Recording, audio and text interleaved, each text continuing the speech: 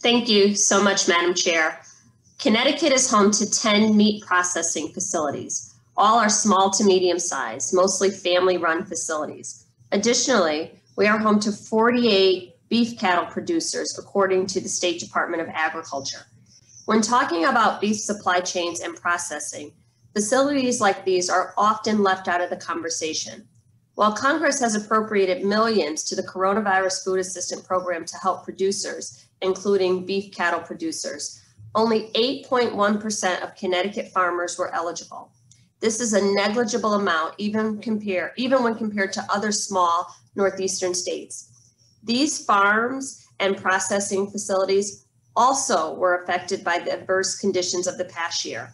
Our producers also had to adapt to the sudden lack of demand from commercial, institutional, and restaurant purchasing. They also had to address the labor concerns caused by COVID, and they also had to adapt to the dropping demand in exported US meat. So my questions will focus on those small to medium-sized plants that I just mentioned. Dr. Jacobs, during the pandemic, we saw an increase in consumer demand for beef directly from the producer or small local butchers. Are there signs that this opportunity will remain as Americans return to a more normal economic activities?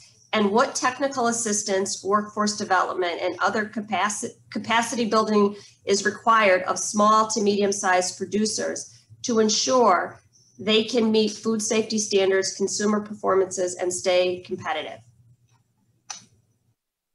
Thank you for that question. Um, you know, I think, first of all, I think support for that, for support for that system um, needs to recognize that that that type of small and medium scale processing allows producers to be closer to consumers. And although I don't have the data and can't comment on that, your question about whether or not we've seen consumers return to their pre-pandemic purchasing um, the food away from home versus food at home and where they're getting their beef.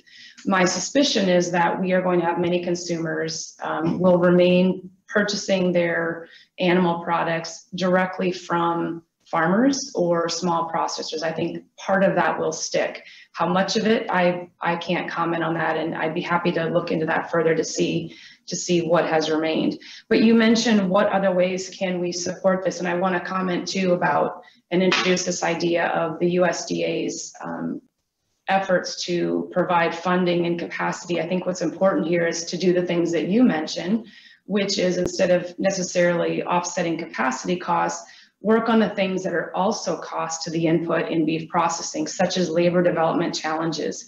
Um, also, challenges related to meeting regulations and the differential impacts that may have on small producers and small processors relative to the very large ones.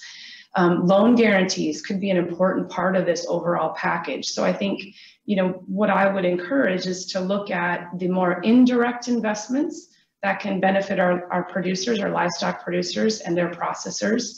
Um, I'm glad to hear that there are small local processors that are doing well, and I hope that they continue to. And I might encourage those that are family owned to consider thinking about a model in which they coordinate, in which they consolidate. And maybe there's an opportunity there for joint processing capacity, shared capacity um, that allows them to scale up. Thank you. You mentioned it briefly, but can you just touch upon um, what are the benefits are having, of having more local and regional um, processing options where uh, they're right next to their consumers? The benefits are options for consumers. The benefits are flexibility. You know, when you have challenges in larger scale processing, even though our, as I understand it, our small and medium scale, we don't have enough of those to pick up slack when we have major disruptions at some of our largest processors that local scale is important to the continuity of our food supply chain locally. Um, it's important to the local rural economies where those farmers are living and the processors are, and they're paying wages and they're paying taxes.